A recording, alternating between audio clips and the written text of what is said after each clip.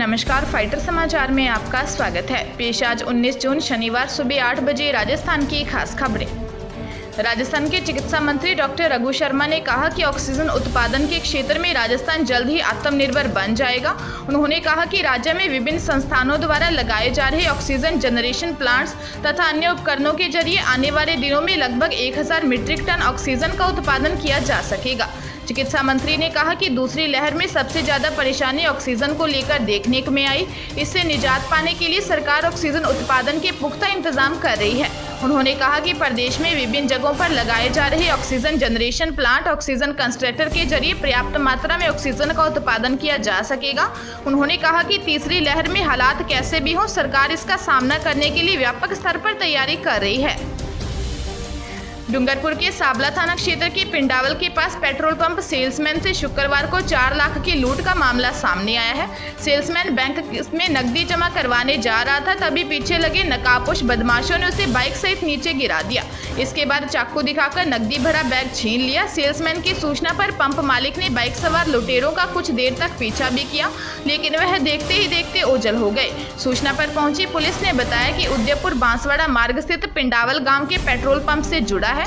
शुक्रवार दोपहर तक जमा हुए करीब चार लाख चालीस हज़ार रुपए का कलेक्शन लेकर सेल्समैन रमेश समीप के सावला स्थित बैंक में जमा करवाने जा रहा था। तभी बदमाशों ने उससे रुपए लूट लिए। पुलिस बदमाशों की तलाश कर रही है। परिवहन विभाग से बड़ी खबर सामने आई है, जहाँ घूसखोर परिवहन निरीक्षकों की बहाली का रास्ता साफ़ हो गया है। जानकारी के अनुसार पाँच साल बाद आधा दर्जन से अधिक निरीक्षक बहाल होंगे। एसीबी ने 2016 में परिवहन विभाग में कार्रवाई की थी। दलाल के माध्यम से परिवहन निरीक्षक गाड़ियों को बिना चलान के पास करवाते थे। परिवहन मंत्री ने फ़ाइल पर मंजूरी दे दी है। अब परिवहन विभाग इनके बहाली के आदेश जारी करेगा। बता दें कि परिवहन निरीक्षक हितेश चंदूर, एम एम शर्मा, कलमीराम मीना, संजय मंडोरा मुकेश कुमार सहित अन्य निरीक्षक बहाल होंगे। जोधपुर ज़िले के उद्य मंदिर थाना क्षेत्र में लॉकडाउन में राशन सामग्री दिलाकर दुष्कर्म करने का मामला सामने आया है। शादीशुदा महिला ने एक व्यक्ति पर दोस्ती बढ़ाकर दुष्कर्म करने का आरोप लगाते हुए मुकदमा दर्ज करवाया है।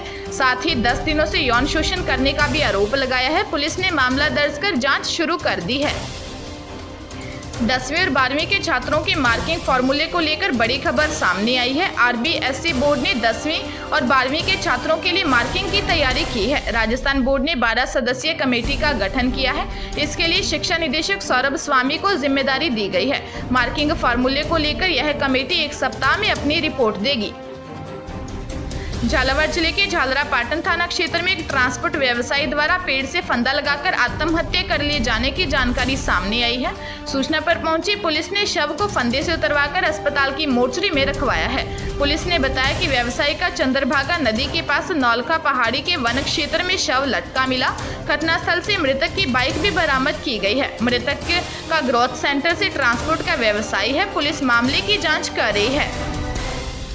केंद्रीय स्वास्थ्य मंत्रालय ने सभी राज्यों और केंद्र शासित प्रदेशों से आग्रह किया है कि स्वास्थ्य कर्मियों की कुशलता तथा सुरक्षा के लिए तेज़ी से कदम उठाए जाएँ और संशोधित महामारी अधिनियम को कड़ाई से लागू किया जाए।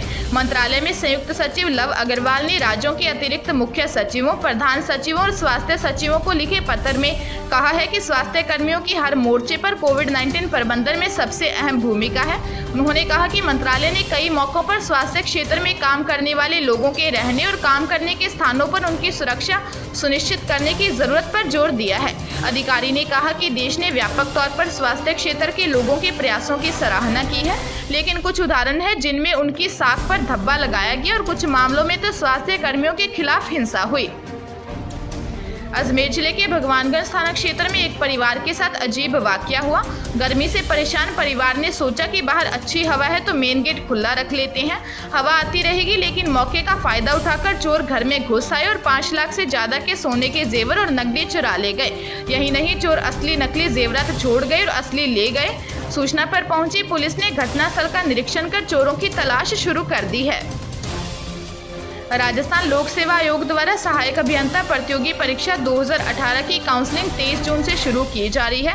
यह काउंसलिंग 28 जुलाई तक होगी। अभ्यर्थी आयोग की वेबसाइट से आज 19 जून से विस्तृत आवेदन पत्र काउंसलिंग लेटर डाउनलोड कर सकेंगे।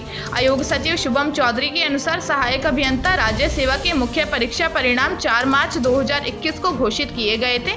इस परिणाम में अस्थायी रूप से सफल अभ्यर्थियों की पात्रता जाँच काउंसलिंग के माध्यम से आयोग कार्यालय में 23 जून से 27 जुलाई प्रातः एवं शाम सत्र और 28 जुलाई को प्रातः सत्र को संपादित की जाएगी। काउंसलिंग के लिए उपस्थित होने वाले अभ्यर्थियों को आयोग की तरफ़ से यात्रा या दैनिक खर्चा नहीं दिया जाएगा।